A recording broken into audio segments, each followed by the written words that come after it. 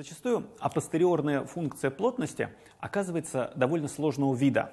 И тогда ее как-то надо описать на компьютере. К сожалению, компьютер плохо работает а, с а, формулами в явном виде, и поэтому для описания апостериорной функции используют следующий подход. А давайте вместо сложной функции плотности возьмем большую выборку из данного распределения. То есть вместо того, чтобы описывать конкретно функциональную зависимость, мы возьмем много-много-много-много чисел, R1, R2 и так далее, R10 тысяч, а, с помощью которых можно примерно восстановить э, закон распределения. Ну, скажем, если меня интересует математическое ожидание апостериорного распределения, я просто возьму среднее арифметическое моих R1 и так далее, R10 тысяч. Если меня интересует вероятность того, что а, а, апостериорное а, распределение больше нуля, то я просто возьму а, количество наблюдений, которые оказались больше нуля.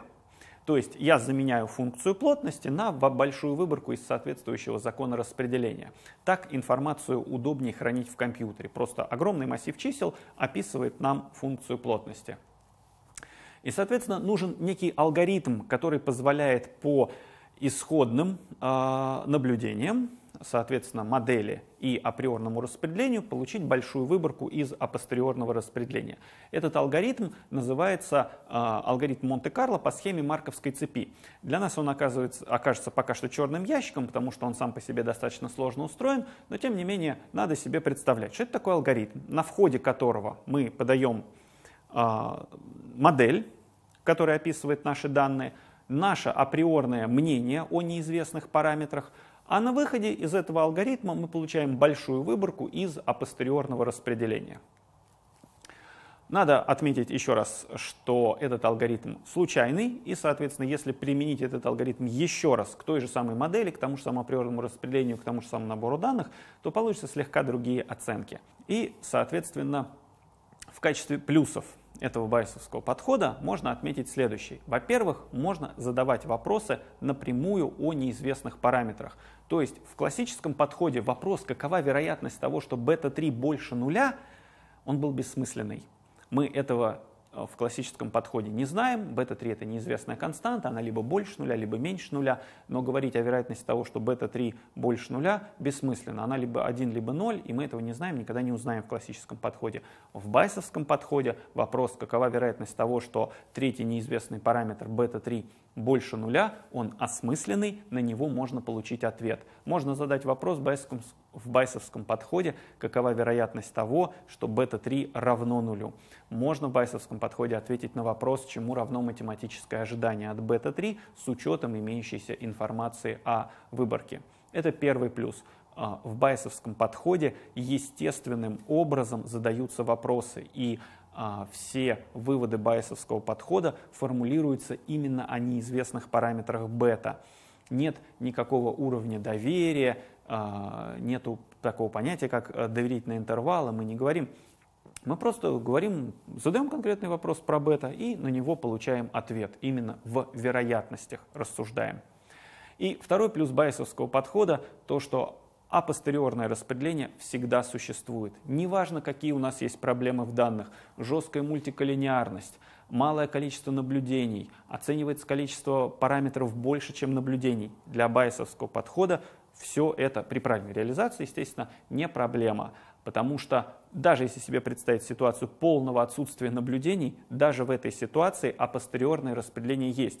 Оно, конечно, совпадет с априорным, если вы во что-то верили, у вас нет наблюдений, ну, в это же вы и будете верить с учетом отсутствующих наблюдений. Но в большинстве ситуаций любое, даже небольшое количество наблюдений изменит как-то ваше мнение о э, неизвестных параметрах. Ну, среди минусов байесовского подхода самый главный, на мой взгляд, это то, что а, его не все знают, просто классический подход в силу исторических причин а, сейчас доминирует байесовский, хотя байесовский гораздо более естественный в смысле интерпретации. И второй минус байесовского подхода это то, что зачастую алгоритмы требуют большого объема вычислений, и какая-нибудь модель, которая оценивается байесовским подходом, вполне себе может на современной технике оцениваться день, два или недельку. И, а, соответственно, мы применим байсовский подход к двум моделям. Первая модель – логит. когда мы изучали логит-модель, мы коснулись одной из проблем логит-модели, а именно идеальное прогнозирование. Иногда в логит-модели складывается ситуация, когда оценки бета с крышкой методом максимального правдоподобия не существуют. Это связано с тем, что оптимально взять коэффициент бет с крышкой, стремящийся к бесконечности. Я вкратце напомню, что такое логит-модель. У нас зависимая переменная принимает значение 1 или 0. У нас был пример, выжил ли пассажир на Титанике или не выжил. И при этом мы предполагаем, что есть некая скрытая переменная y со звездочкой, отвечающая за склонность а, выжить, и y и t равно единичке, если склонность y и t со звездочкой больше нуля, и y и t равно нулю, если скрытая переменная y и t со звездочкой меньше нуля. Ну и, соответственно, уже скрытая переменная y и t со звездочкой линейно зависит от объясняющих переменных. y и t со звездочкой равняется бета-1 плюс бета-2 x это плюс случайная составляющая, имеющая, скажем, логистическое распределение. Соответственно, эта модель в байсовском подходе дополняется априорным распределением о неизвестных параметрах бета.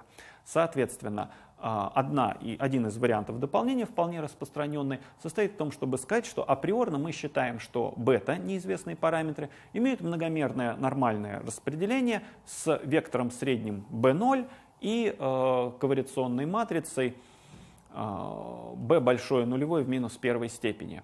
Ну, э, тут вопрос возникает, хорошо, а как это вот уточнить? Ну, на практике э, берут совсем конкретную спецификацию, например, мы считаем как, как правило, чаще всего мы ничего не знаем о неизвестных параметрах, поэтому разумно считать, что они лежат в очень широком диапазоне от минус бесконечности до плюс бесконечности, ну или там от минус 100 э, до плюс 100. Соответственно, можно сказать, что математическое ожидание вектора параметров, вектора b это b0, это вектор из нулей, а, соответственно, матрица точности, обратная матрица к ковариационной матрице, это диагональная матрица, где на диагонали стоят d, d, d, d, d, вне диагонали нули, и вот это d мало. Соответственно, у нас э, число d э, имеет смысл, что это э, 1 деленное на дисперсию соответствующего коэффициента. И, соответственно, если d мало, то единичка на d дисперсия достаточно высока, и это отражает мою степень неуверенности в параметре бета.